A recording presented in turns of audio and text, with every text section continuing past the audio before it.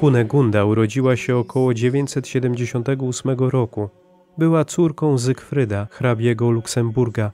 W wieku około lat 20 została poślubiona Henrykowi II, księciu Bawarii, który po śmierci Ottona III w roku 1002 został wybrany najpierw królem, a od 1014 roku cesarzem Niemiec. Oboje żyli jako dziewicze małżeństwo. Święty Henryk otaczał ją taką czcią, że chciał, by z nim dostąpiła zaszczytu koronacji na królową. Dokonał jej w Paderborn ówczesny arcybiskup Moguncji, święty Wiligis.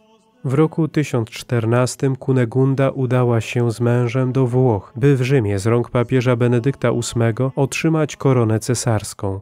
Choć cesarska para żyła w czystości, Kunegundy nie ominęło oskarżenie o cudzołóstwo. By się od niego uwolnić, poddała się sądowi Bożemu, przeszła po rozżarzonych lemieszach. Kunegunda fundowała liczne klasztory i opactwa. Przyczyniła się do budowy katedry w Bamberdze. Po śmierci męża wstąpiła do ufundowanego przez siebie klasztoru benedyktynek w Kaufengen.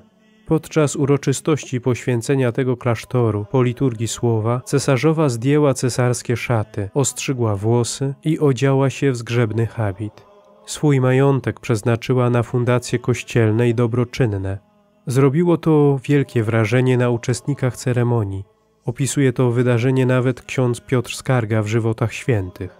Jako zakonnica święta Kunegunda służyła z oddaniem ludziom, zwłaszcza ubogim. Nie wyróżniała się w niczym w ubóstwie i posłuszeństwie. Nie wymawiała się od żadnych prac, nawet służebnych. Zmarła w opinii świętości 3 marca 1033 roku. Zgodnie z jej życzeniem została pochowana obok męża w katedrze bamberskiej. Natychmiast zaczęto oddawać jej publiczny kult. Inocenty III zatwierdził go w roku 1200.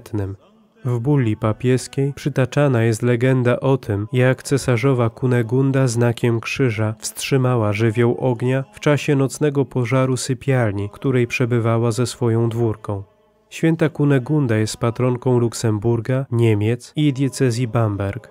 W ikonografii Kunegunda luksemburska występuje w stroju cesarskim, najczęściej z mężem świętym Henrykiem. Przedstawia się także w habicie zakonnym, trzymającą w ręku model kościoła. Módlmy się. Boże, Ty mieszkasz w czystych sercach. Za wstawiennictwem świętej Kunegundy Dziewicy udziel nam łaski do prowadzenia życia zgodnego z Ewangelią, abyś mógł w nas zamieszkać. Przez naszego Pana Jezusa Chrystusa, Twojego Syna, który z Tobą żyje i króluje w jedności Ducha Świętego, Bóg przez wszystkie wieki wieków. Amen.